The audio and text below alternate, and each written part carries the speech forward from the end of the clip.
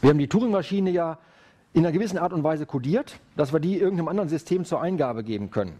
Ja, das war die Idee dieser universellen Turing-Maschine, ähm, dass wir da diesen Code generiert haben, das heißt halt Gödelwort. Genau das gleiche machen wir mit Grammatiken jetzt auch. Und das Ziel wird sein, dass wir eine Grammatik als eine Zahl abbilden. Also wir geben eine Zahl an und können das dann als Grammatik interpretieren. Das ist sozusagen das Ziel. So, und das können wir wie folgt machen.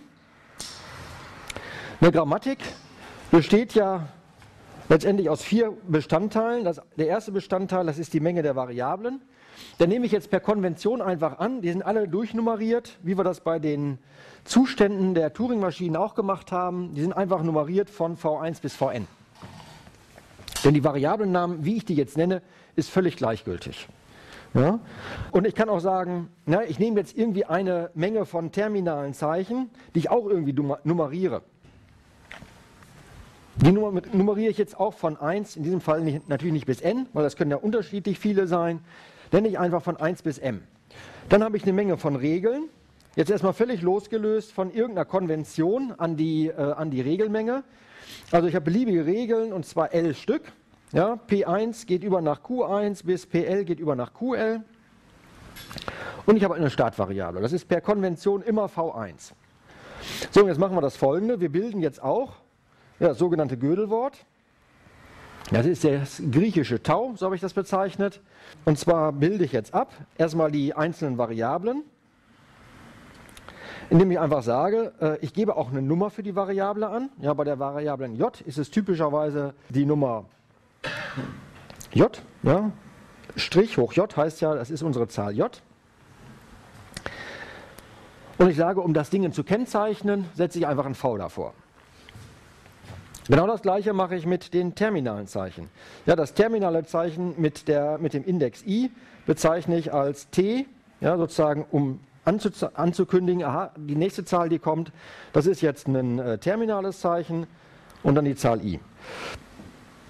So, wenn ich eine Folge von Symbolen habe, x1 bis xk, dann setze ich das Gödelwort zusammen Einfach aus den zusammengesetzten, konkatenierten Gödelwörtern. Ja, also Tau von x1 bis xk ist gerade Tau von x1 bis Tau von xk.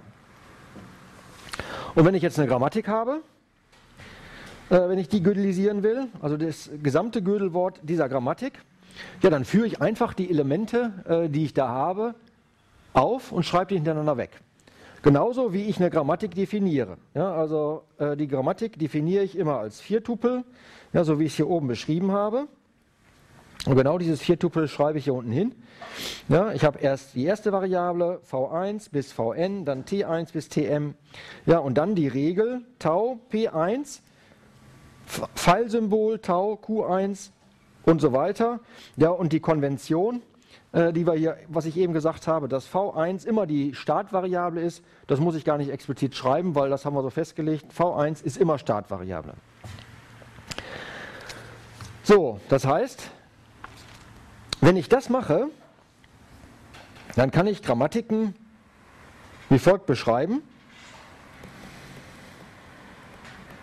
Also wenn ich diese Codierung äh, vornehme, dann kann ich Grammatiken über dem folgenden Alphabet beschreiben.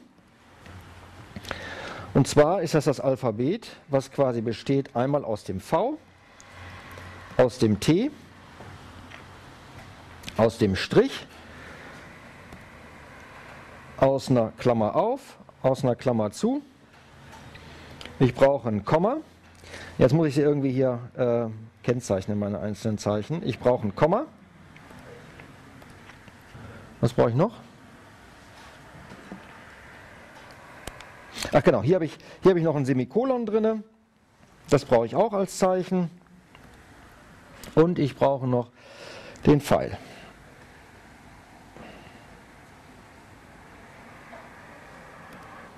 Ja, also wenn ich ein Alphabet betrachte, das nur aus diesen Zeichen besteht, dann reicht das aus, um meine Grammatik zu beschreiben, ja, wenn ich die in dieser Art und Weise codiere.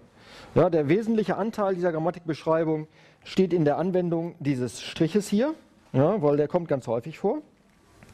Und halt ein paar Sonderzeichen, die ich brauche, um sozusagen eine gewisse Maskierung zu erreichen.